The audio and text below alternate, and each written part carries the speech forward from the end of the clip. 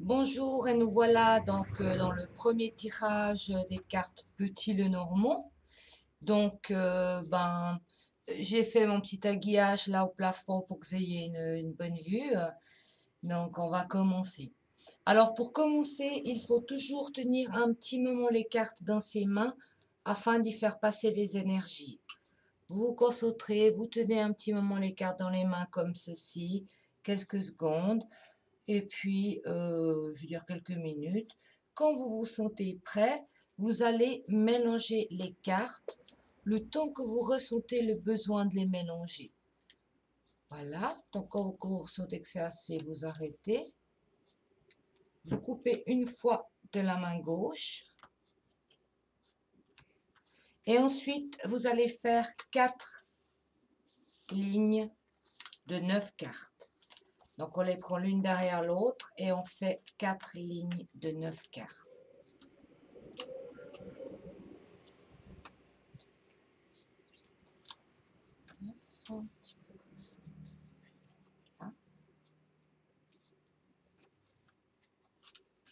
Donc, on va faire les quatre rangées de neuf cartes.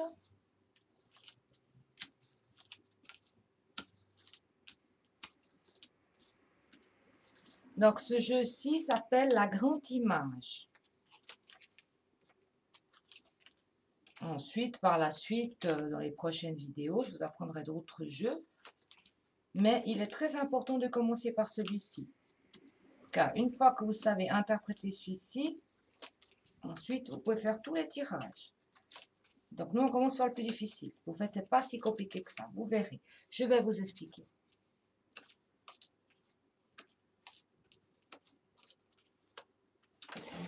Au fait, ce qu'il y a de bien dans la grande image, c'est qu'on a tout. On a toutes les cartes et on a tous les domaines, tous les domaines de la vie. On peut tout y voir chez le consultant. Donc, ensuite, bah, quand vous avez le jeu devant vous, vous allez tout d'abord cibler la consultante qui est ici. Donc, car les cartes vont parler dans tous les sens. Elles vont parler comme ça, dans ce sens et comme ça. Alors d'abord, vous regardez la consultante. Qu'est-ce qui se passe autour de la consultante? Ben, On voit que la consultante a de la chance, mais on dirait qu'il y a un changement qui est venu de faire des blocages dans sa vie. Ici, on voit l'homme, qui peut être un ami, son mari, euh, son amoureux, un frère. Elle a affaire à un homme un peu vulgaire. Donc elle n'est pas bien. On dirait qu'actuellement cette personne n'est pas bien. Car en ciblant la consultante, on peut voir ce qui se passe autour. Et quand euh, vous savez plus vraiment vous êtes, vous prenez vos fascicules que vous avez créés et vous pouvez regarder les associations. Alors, il faut toujours faire une phrase. Donc là, on voit la consultante a de la chance avec le trèfle c'est une femme qui peut être un peu renfermée parce qu'on a la tour. Et ensuite, quand on va dans ce sens pour prédire un peu l'avenir, on voit, bah tiens, elle a des problèmes, cette dame. Il y a des problèmes peut-être au niveau professionnel, mais aussi avec un homme. Voyez? Cet homme, avec la lune au-dessous, n'est pas très bien équilibré car il aurait des problèmes psychologiques, puisqu'on a la lune au-dessus de l'homme Il faut faire une phrase et dans la logique. Maintenant, on va cibler, par exemple, le travail. Ici, nous avons le travail, donc le renard. On a l'enfant qui n'est pas loin. Donc là, ça nous parle plutôt de la vie professionnelle de l'enfant, de la famille. Donc on dirait que cet enfant souffre dans son travail, car on a la croix à côté. Il y a une souffrance il y a une rupture de contrat professionnel pour l'enfant. Car il va se diriger vers autre chose. On voit l'arbre, on voit l'ours et on voit les étoiles. Donc ça veut dire que cet enfant euh, ou ce jeune a une période difficile, il est en souffrance par rapport à une place de travail et il va changer pour un mieux. Donc ici, on peut voir, parce que vous allez aller vraiment dans tous les sens. Vous ciblez faut pas oublier de cibler. Tiens, je cible le travail qui est le renard et je regarde ce qui se trouve autour. Maintenant, si on cible la maison qui est la famille, qu'est-ce qu'il y a autour? Bon, on dirait que c'est une famille que constamment on dialogue, et puisqu'on a les oiseaux, il y a du bonheur, il y a de la droiture dans cette maison, dans cette famille. On dirait qu'ils ont des, décisions à prendre en famille, puisqu'on a la clé avec euh, les chemins. Et ensuite, on peut voir quand même que c'est possible aussi que la personne, donc la consultante, ait un travail à domicile, car on a le renard qui est tout près de la maison. Donc, toujours important de cibler le sujet. Après, c'est à vous de ressentir et de faire une histoire, de faire une interprétation. Ensuite, on va cibler l'argent qui est ici. Donc, l'ours, bah tiens, on dirait qu'il y a eu quelques petits soucis d'argent, euh, quelques inquiétudes d'argent parce qu'on a le fouet à côté, mais il y a un changement qui arrive.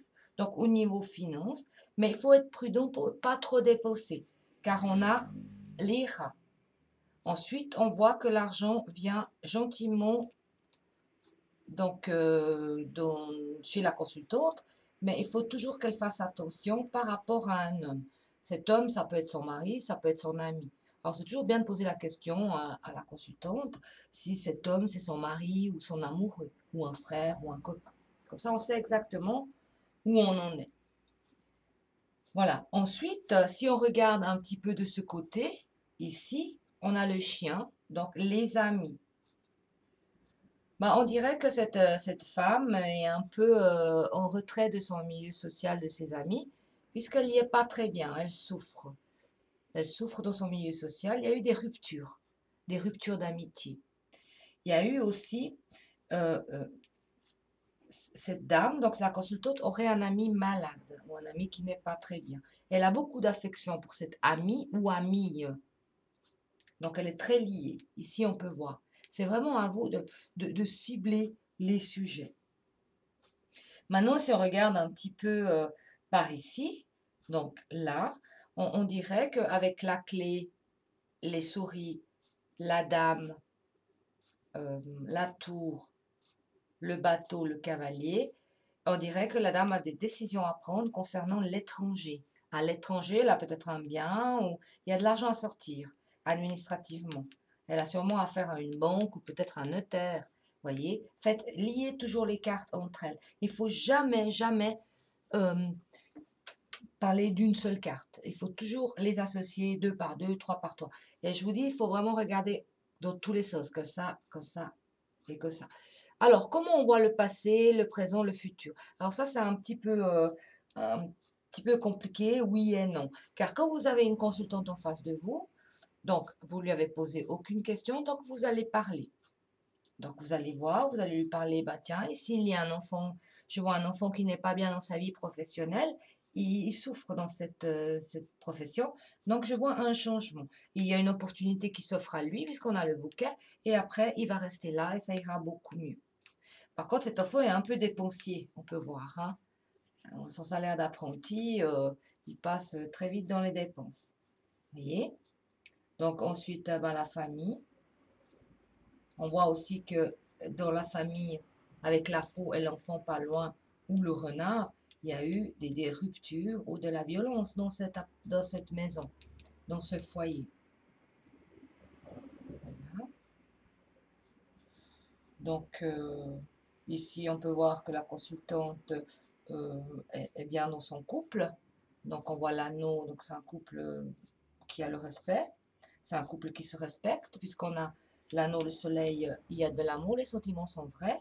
Il y a le respect, l'honnêteté, il y a du bonheur, il y a le renard. Parce que là, maintenant, on va prendre le renard, puisqu'on vient dans ce sens, le renard fait partie donc de la vie de couple de la consultante. Donc, la consultante vit euh, en couple, elle est heureuse. Ensuite, ici, bon, on pourrait voir le renard. Le renard, c'est une, une tierce personne qui vient déstabiliser le couple, qui essaye de déstabiliser le couple. Donc, qui veut faire rompre ce couple puisqu'on a la faute quand on va dans ce sens. Donc, à un certain moment, donc cette personne vient déstabiliser le couple et on aura des décisions à prendre. Et à mon avis, les décisions vont être que la consultante connaît euh, la personne qui veut déstabiliser, le couple, puisque le jardin n'est pas loin, donc le cercle milieu social, le cercle d'amis, et le chien aussi. Voilà. Donc, c'est vraiment un jeu qui est super complet. Donc, vous mélangez les cartes, vous faites quatre rangées de neuf et vous ciblez le sujet. Vous ciblez le sujet, donc n'oubliez pas les cartes maîtresses et les cartes d'ambiance. Donc tout de suite, même si c'est pour vous-même, vous allez, si c'est pour le travail, vous allez cibler le travail, vous allez regarder ce qu'il y a autour du travail. Si c'est pour le couple, vous allez cibler l'anneau.